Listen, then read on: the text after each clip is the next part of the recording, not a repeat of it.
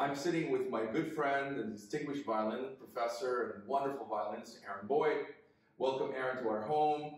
So delighted that we're finally making a collaboration that's official, although not probably the way we wanted to, because this is unfortunately all virtual. But I do have hopes that we will play again in front of a, a ravishing crowd. I have no doubt. Live people as opposed to virtual people. Um, it, has been such a pleasure to get to know you, um, and I've admired you for, for, a very long time. So I guess the first question is, what, um, well, first of all, did you think that you would ever end up for a long time in North Texas for making your home here? I didn't count on it, but I certainly wanted it. I see. I, uh, I, I came first came to Dallas um, as a member of the Escher Quartet, and we gave some classes at SMU and I immediately loved the place, loved Texas. I, have actually always loved the idea of Texas. My uncle lived here 50 years ago. Wow. And so to uh, have been able to apply for the position, to have been chosen for that position was one of the great happinesses of my life. Wonderful. And now you'll get to know the Fort Worth audience, which may be not right. as familiar. Um, but in this concert where we play with people we've already worked with, such as Alan Steele, it, it should be a fantastic thing. And what we're trying to do, of course, is um, as every chamber music group seems to have done, uh, we want to keep everyone engaged. Yes. We want to let people know that we love making music, of course. Um, and it is a very strange way of doing it because an inherent part to making music is the audience. Yes. Um, so, what would you say, um, since COVID, I would say um, you've done some recording, obviously a lot for the Chamber Music Society Center. Um, what would you say is the main adjustment to make when you do a recording like that, both as an interview and as a player and as somebody who you know is really used to collaborating with live people and not able to do that right now? The danger with recordings and uh, not this interview, with some interview situations, is that it can uh, both musically and uh, socially feel stilted or something like that. Mm-hmm. So one has to be very, uh, especially careful about maintaining natural uh, connection, natural communication, mm-hmm. and uh, one also can miss that connection and that very special energy that comes from a live audience. And I think that that special energy is also palpable in recordings of live events where there's an audience that's almost a, a, a, a you know a third partner. Say if there's two of us we're playing, the audience is the sort of third partner in that collaboration. And so I miss that. And yet I will say that the, the, COVID lockdown and the isolation has been very good for my. Yeah.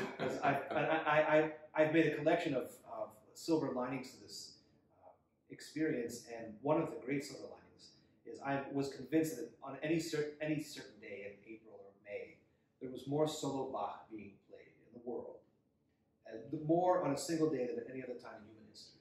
I agree. It was funny. Most of my cellist friends have said they've now gone through the entire six suites as every other cellist. Yes, yes. For, for a little while, I, I made a habit of starting every morning by playing the complete cycle of the beginning. Oh, really? Takes about with repeats about two and a half hours. Yeah, well, that, you know, it's funny because that's the, that's truly the cleansing of the soul. Yes, it is. Um, and I'm going to start doing that because I, never thought of that. You'll be, you'll be tired at the end. Oh, I, well, the Chaconne takes so much out of me. I think I may have to take a lunch break right there. um, well, speaking of cleansing of the soul, um, what, what can you tell us uh, about your path, let's say, to the Escher Quartet and your path in chamber music? Because most of our patrons really love the background, and of course, so do I. I would say that uh, because of a couple of things. First of all, I had a great, great teacher in Pittsburgh, who Eugene Phillips, who's the father of Daniel and Todd Phillips with the Orion Quartet. And spiritually and culturally, he was just a force to be reckoned with in, in terms of his passion for the string quartet as the pinnacle of human and musical achievement and experience. Mm-hmm. And so I was marinated in that idea and that value from the age of about 11. So that when I came to study at Juilliard, I already knew very seriously that I wanted to play the string quartet. I, of course, I had no idea how challenging a life that is. But I, when I was 18, 19, 20, something I couldn't possibly have imagined a more romantic lifestyle and playing Beethoven quartets and traveling the world doing so.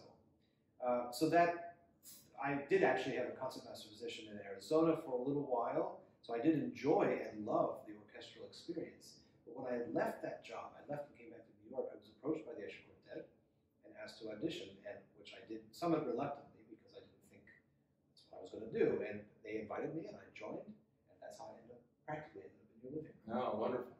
How many years did you spend with the quartet?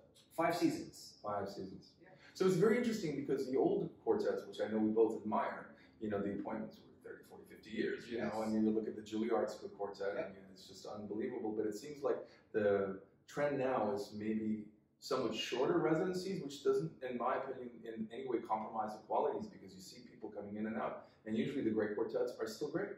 I would say that the uh, so when you mentioned the Juilliard Quartet, there was only one member, Robert Mann, who was there all fifty, all for, for fifty years.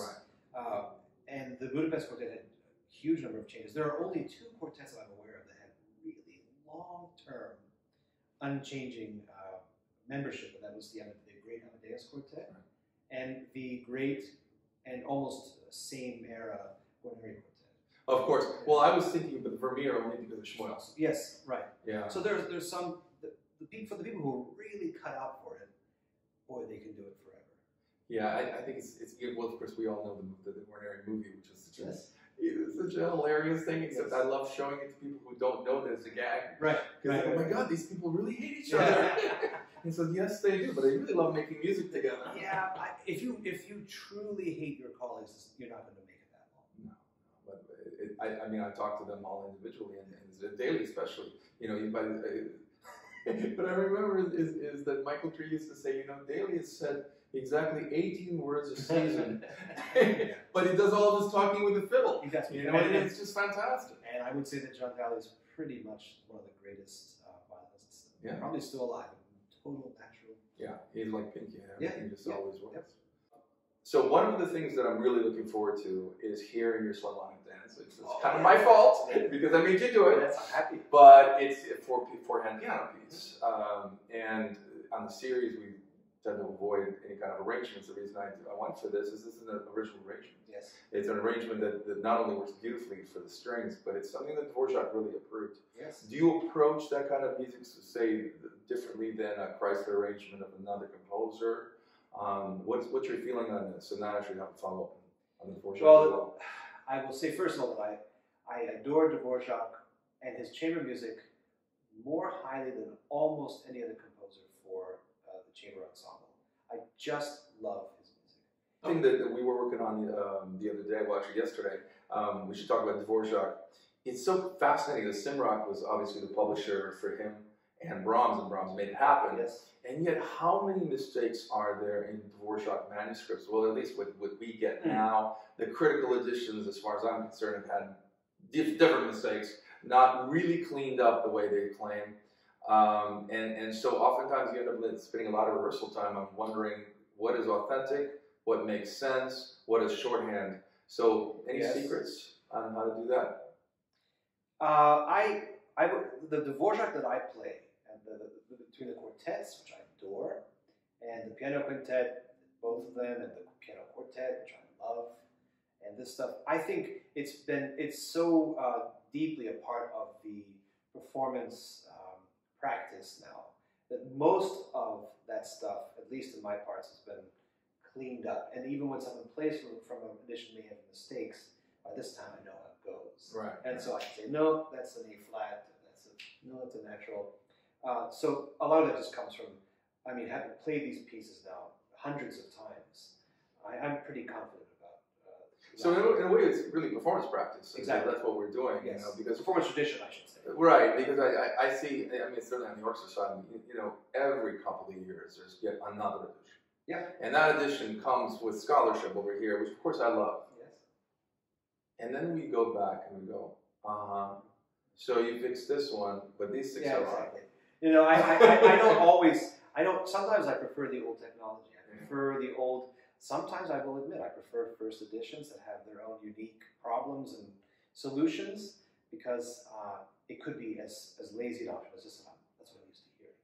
I, I think it's actually better because now you're using your head and you're using your brain, and most importantly, you're using your experience. Right. Um, oftentimes, you know, many of the scholars, and I don't think I'm insulting anyone, they're not master players, and they have not No. performed this in 75 different No. times on five continents. And they have not met certain people in Vienna and in Budapest and, Right. and in uh, Korea and in Hong Kong because, I mean, I remember a couple of things that when, when one of my teachers said, Well, I've got this thing on the Brahms A major sonata because my teacher was the teacher of Liszt and he played it with. Right. Yeah, exactly. So I said, I think that's good enough for me. that's good enough. you know. Yeah. So it, it, it, I, I think the beauty of, of what we have now is we have access to different things. Oh, yes. And we are able to kind of sculpt a 360 degree image of what we're trying to do. Um, and I'm really excited to play this quintet and certainly in the modern. Um, now, let's talk about acoustics for a second. You haven't played in the modern yet. I've not played the modern. Okay. The modern is a very interesting auditorium. Um, and what I'm about to say, I think, is actually a positive. Okay. It's one of the very few halls that sounds the same empty as Oh. it does with people. And I think that's actually a positive for what we're going to be doing on September 12th for the simple reason that one of the issues, maybe you can comment on this, when you rehearse at the Concertgebouw, Yes. when you rehearse in a large hall, let's say in St. Petersburg or, or even Carnegie, um, if you play in the main hall, you know, it's 2,700 whatever seats, and that's really hard to Yes. do when it's empty. And Yes. then 2,700 people show up and go, that's not what I'm used to. 2700 absorbing entities show up. Yeah. Sound absorbing bodies show up. So, so how do you treat uh, the acoustical rehearsal? I, I'm going to tell you the truth. Um, after, and it's, it, it, I hope that you believe me, uh, after touring for multiple years and playing many, many halls, I stopped listening. Uh, because um, I, I, the good halls are so rare. I got used to I got used to playing many, many bad halls. Interesting. That the danger for a hall that is not great is that you start to overplay to make some resonance, and then you just end up killing your sound. Right. So I think there's probably an objective uh, entity in me that uh, says, ah, no, no, no, don't push this or raise that, lower that. But for the most part, I stopped largely paying attention to hall acoustics because they're generally so unsatisfactory. But when the on the other end of that is that when it's a very good hall, it's like uh, it's like a day at the spa. Right. Yeah. I, I agree. Um, the only thing where, where I, I do, I think maybe I do listen to a little bit more because I don't play Cortez anymore. You know, I mean, it's, it's I when we toured, yeah, I remember that. I agree with you. I think in some ways where I draw the line is when it's a very live hall. yes. Because when it's really live, you have to take more time. Oh, there's no question. No, I think I, I should I should be more careful because uh, we do make some automatic adjustments. Right. You don't even think. You just think, I can't hear you. Got to slow down. Got to articulate more. Those sort of things. That's just pure uh, professional craft. Right. Well, it's interesting because we should talk about students because uh, you know we both teach, and uh, one of the things that I always encourage, especially summer music festivals, when I work with other people's students, is I try to get them into an acoustical Absolutely. atmosphere all the time. We're lucky with the Joseph Gingold Festival that, that we have this wonderful auditorium. Yes. It's actually a chapel, um, and I've actually made my fiddle students just go in there, whether they're ready or not, and go play Bach. Absolutely. And why? Because of chord breaks. Make them Yes. listen to the chord break. How long will your middle voice sound? I don't know. I, I, I, that, well, I'm sorry, that doesn't really work in, in, a, in a room that's four by six, but it works really well in a chapel because that sound has to come back to you, and then all of a sudden the timing's right. It's true because kids spend, I mean, young kids do not have experience in a hall. They spend the bulk, I mean, 98% of their time practicing in a small, which is a small, tiny room. is, you know, four by four cubicle. And so the slightest amount of work, it's a, produces a deafening amount of sound. So they play small as a consequence of that. Mm-hmm. And so I agree with you. It's really important to get kids into a larger space so they know how to, to make tone and to send it.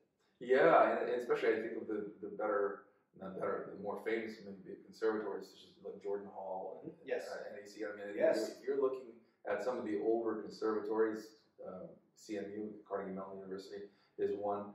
You know, they do have that incredible luxury where this is an acoustical space Yeah. where where you can really listen. What can you tell us? Um, obviously, you were growing up with maybe Maazel as as Maazel was the music director when I was growing up in Pittsburgh. Any any uh, memorable concerts? I'm sure all of them. I'm a big fan of.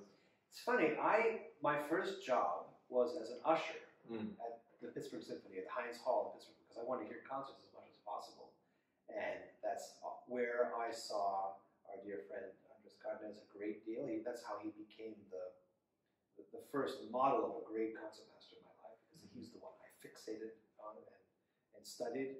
And I remember his beautiful violin solos. I remember earlier than that though, being eight years old, nine years old, and going to concerts the nosebleeds Yeah. with my with a jacket and my, with my mother and seeing Isaac Stern play the Beethoven concerto and stuff, and always falling asleep not because I was bored, but because is warm and distant, and it was afternoon, and Right.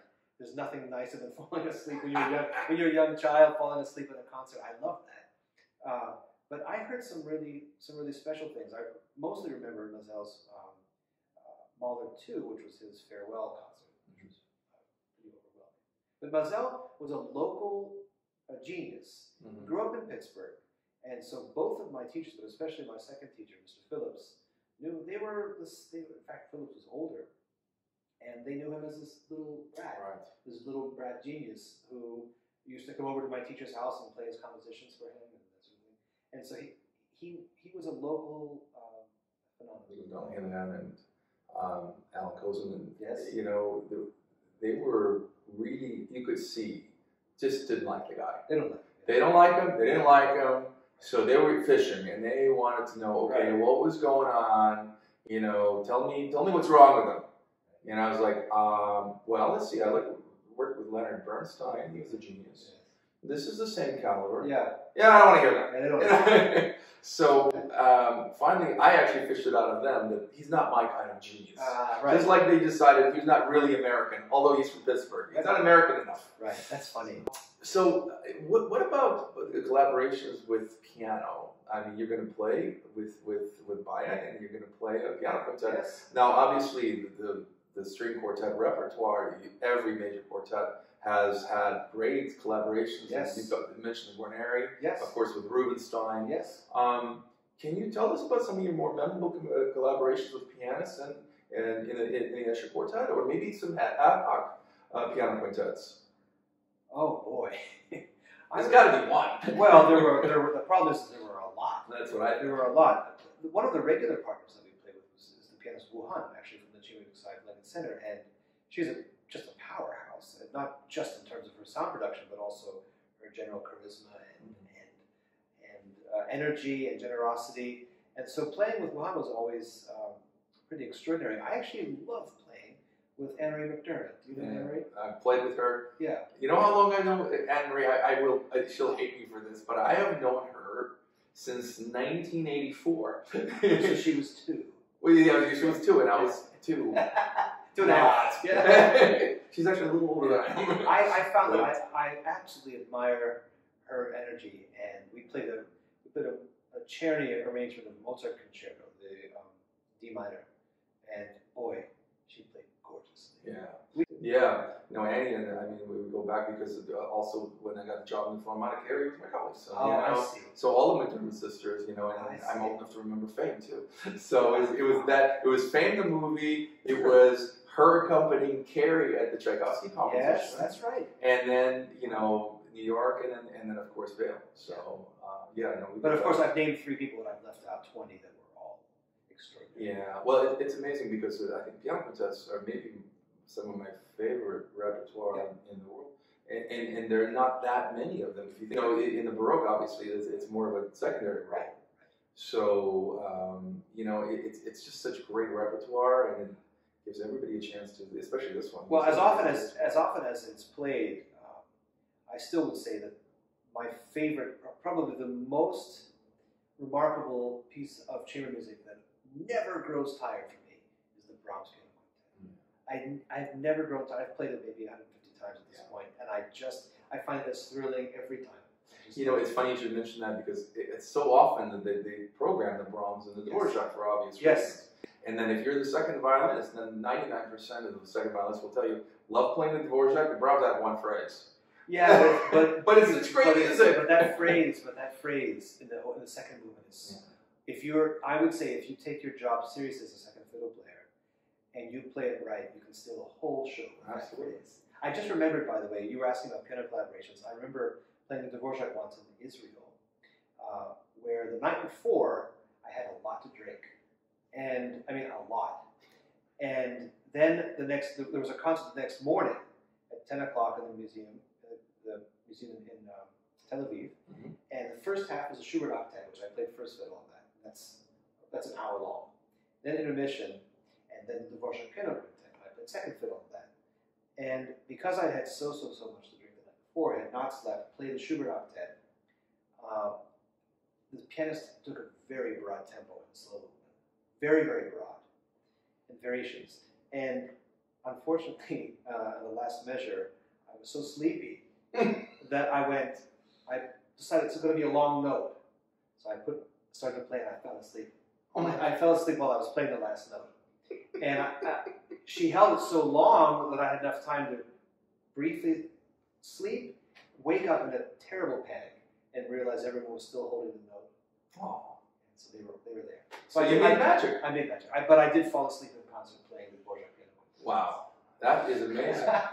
I, I'm certain that you're not going to do that in this portion. I promise you, I promise I won't do it again. Yeah, yeah, I think we, we, we, we will be fine with this one. And, um, I'm also looking forward to the bridge playing second to Oh, you. yes, yes. Um, and that'll be the October concert. Yes. So, in a way, this is almost like a mini festival for us, right? I mean, great.